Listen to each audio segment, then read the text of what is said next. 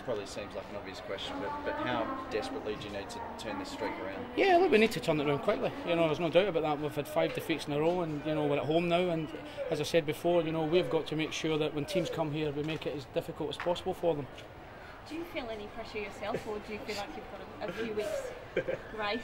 Yeah, look, there's always pressure. Um, I, I just want to announce our new signing here, uh, as, I've, as I've seen on Fox Sports and everywhere else. We've just gone for about 45 trillion, so I like to welcome Wayne Rooney here.